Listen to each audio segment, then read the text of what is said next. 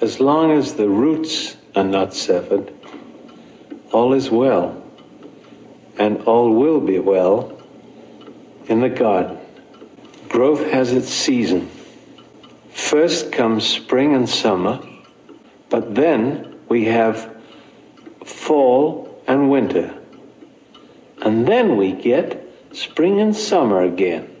There will be growth in the spring